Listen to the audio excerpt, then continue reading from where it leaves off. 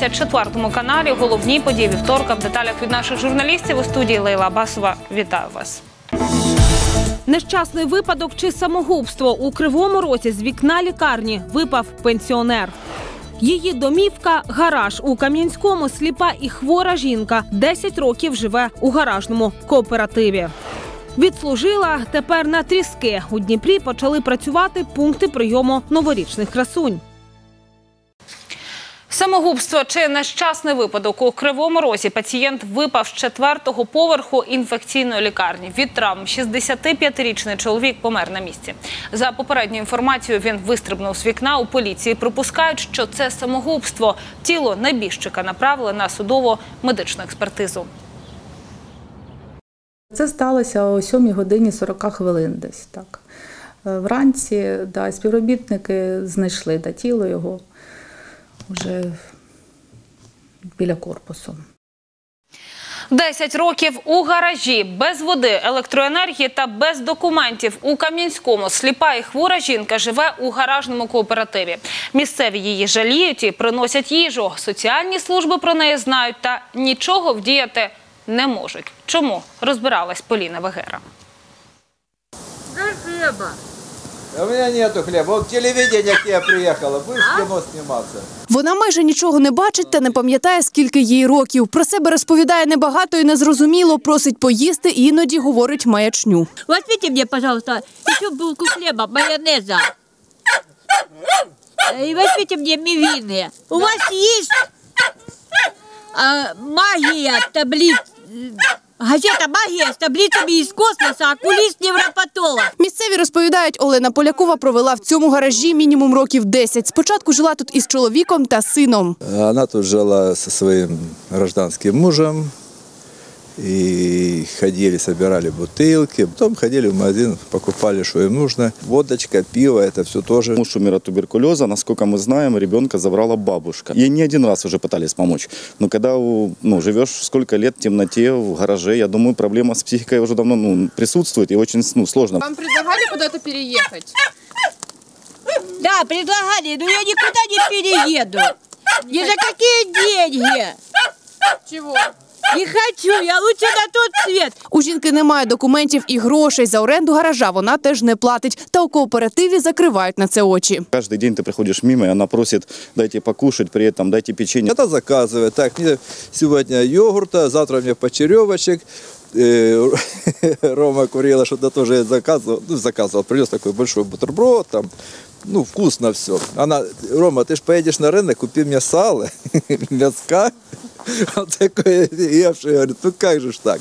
Давай же ж иди вперед. Нет, вперед я не пойду. Жінка відмовляється від лікування та допомоги соціальних служб. Хотели ее госпитализировать в больницу, хотели ей помочь э, определить ее в дом-интернат. Были задействованы все службы, управление соцзащиты, территориальный центр, участковый, участковая служба нашего э, районного отдела милиции. Но, к сожалению, когда все службы собрались, эта женщина отказалась от госпитализации и от какой бы то ни было помощи. У соціальній службі кажуть, насильно госпіталізувати жінку не мають права. Не може це зробити і поліція, поки Олена не становить загрози. Поліна Вегера, Антон Філіп. Деталі. Якщо ви маєте важливу або цікаву інформацію, звертайтеся за номером телефону, який ви бачите на екрані. До п'яти років за ґратами чоловіку, який обікрав військового на вокзалі у Дніпрі, загрожує тюрма. Зловмисник пред'явив посвідчення учасника бойових дій та пішов відпочивати до волонтерського пункту. Там і витягнув гроші із чужої куртки. Крадіжку зафіксували камери відеоспостереження. Виявилось, що 35-річного жителя області раніше вже судили за подібні злочини. Ну да, денег не было. Пьяные были, ну? Нет, трезвый. Сожалеете о поступке? Конечно, сожалею. Никакого отношения к, уча- вообще к вооруженным силам он не имеет вообще. По данному факту открыто уголовное производство по части 1 статьи 185 Уголовного кодекса Украины. А Данному лицу угрожает наказание до 5 лет лишения свободы. Заплатив за оренду квартири, а отримав ключа, який не підходить до дверей. Так найчастіше дурять шукачів житла. Що потрібно знати, аби не стати жертвою аферистів, розкажуть кореспонденти деталей. Вікторія новий рік планувала відсвяткувати із друзями. Для цього орендували квартиру. За три доби заплатили дві тисячі гривень. Однак потрапити до помешкання так і не змогли Мы увидели, что ключ не подходил. А Мы ему позвонили, но он не брал трубку. А потом мы выяснили, что договор подписан неправильно и ничего доказать нельзя. А, Соответственно, мы отпраздновали дома, каждый э, у себя. Це одна з найбільш поширених схем шахраїв, розповідає ріелтор Юлія Смірнова. Зазвичай ключі від неіснуючої квартири можуть продати не одному десятку клієнтів. Фахівець радить. Передусім, подивіться помешкання, а ще перевірте документи на житло та паспорт власника. І не варто спокушатися надто дешевими варіантами. Если мы говорим о э, однокомнатных квартирах в спальном районе, например, то э, ценовая политика вот ниже 300 гривен э, стоит задуматься, потому что, в принципе, таких цен практически нет. Ріелтор додає, обов'язково треба укласти договір оренди і спеціальний акт технічного стану майна. Перечень того, что есть, в каком состоянии, то, по крайней мере, открыть и проверить на э, работоспособность всех шкафчиков, дверок и всего остального в любом случае необходимо. Такий документ застрахує вас від безпідставних претензій з боку власника квартири. Георгій Марінов, Тарас Мишак та Олексій Ковалевський. Деталі. Азарт у вогні у Дніпрі горів центр ігрових автоматів. Сталося це у провулку Парусному четвертій ранку. Приборкували полум'я чотири пожежні машини. Постраждалих немає. Вогонь знищив лише ігрові автомати та меблі. Причини займання встановлюватимуть правоохоронці. Надійшло повідомлення про пожежу на перевулку Парусному 18 горять ігрові автомати. По прибуттю на місці пожежі підрозділами було встановлено, що йде угроза ближ стоячим магазинам. Е, В 4.42 локалізація, в 4.52 ліквідація. У Дніпрі зводять перший обласний хоспіс. Під заклад віддали один з корпусів 15-ї лікарні. Від старої будівлі залишились тільки стіни. Наразі встановлюють нові вікна та завершують монтаж підлоги. У кожній палаті буде 2-3 ліжка з протипролежневими матрацами, кисневі маски, душові. Також працюватиме кабінет психолога і капличка. Хоспіс розрахований на 46 ліжок. Це третій центр паліативної допомоги в Україні. Это здание, которое было построено 60 лет назад. С тех пор оно пришло в полную негодность. Сейчас идет его реконструкция. После реконструкции в этом здании будет новым абсолютно все. Відслужила два тижні тому. Ялинка була головною прикрасою свята. А сьогодні йде на тріски. У Дніпрі почали працювати пункти прийому новорічних красунь. Куди здавати, розкаже Олена Кузьменко. Ось так новорічна красуня за секунди перетворюється на тріски. Від дніпрян потрібно просто залишити ялинку у пункті прийому. А от ті, хто не доніс, додають мороки двірникам. Олена щодня збирає ялинки по всьому району. Как сознательный дворник принесла сюда, положила. Моя елка в этой куче, общий вклад. Есть такие единицы, которые несознательные. А в основном люди приносят сюда, ну и дворники перед началом своего рабочего дня обходят участок, собирают то, что люди по разным причинам сложили возле бака и приносят сюда. Утилізувати хвойні почали від учора. Повний список пунктів прийому можна знайти на сайті міськради. Загалом у місті їх близько 35. Работать эти пункты будут до 10 февраля.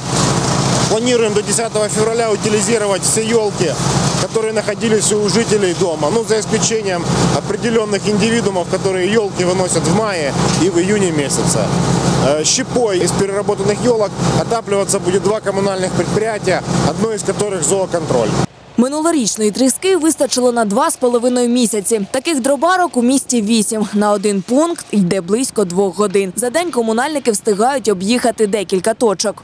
Где-то пару часов утилизируем и все. И сразу на другое место перевозим. За невчасно викинуті ялинки у Дніпрі не карають. А от у Німеччині за неправильну утилізацію виписують штрафи від 25 до 100 євро. Олена Кузьменко, Віталій Правдюк. Деталі.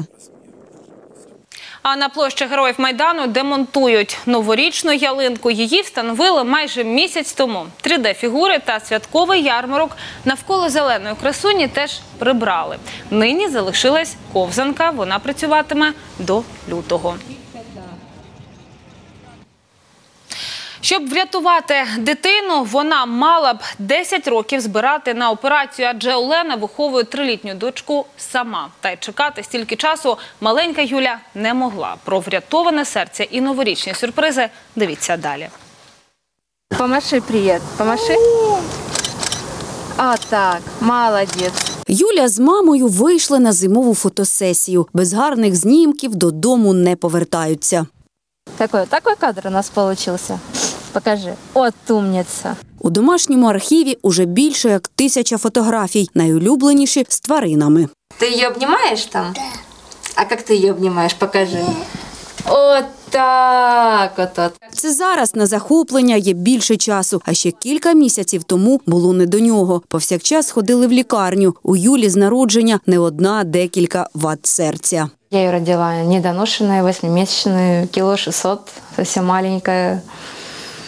М, На пятый день ее жизни была первая операция на сердце. Родина живе на допомогу з інвалідності. Виховувати дівчинку допомагає бабуся. Вона часто приїжджає з Новолуганського. Каже, в гостях почувається затишно. Постоянно днем и ночью там это гремят. Так что это- там постоянно страшно. Минулої осені в серце дитини лікарі імплантували уклюдер. Неизвестно, сколько прожила, б даже так можно сказать. Эта операция очень помогла нам. Операцію зробили вчасно. По підтримку мати дівчинки звернулася до благодійників. Нам очень хорошо помог Ренат Ахметов. Ему огромная благодарность за помощь, э, за спасение жизни моей дочки. Он подарил нам эклюдер. Нам сделали удачную операцию. Мы много прошли, и мы много еще пройдем вместе. Для мами велике щастя чути, як б'ється здорове серце дочки. Одна мечта, щоб вона була здорова. Цього року Юлія мріяла про новорічні сюрпризи. Недаремно солодощі і подарунки маленька отримала від фонду Ріната Ахметова. Нравиться подарок? Твій подарок? Уже 18 років Рінат Ахметов вітає маленьких жителів Донбасу з новорічними святами. Цього разу близько 100 тисяч хлопчиків і дівчаток отримали подарунки. Ей очень понравились подарки, конфеты она тоже очень любит.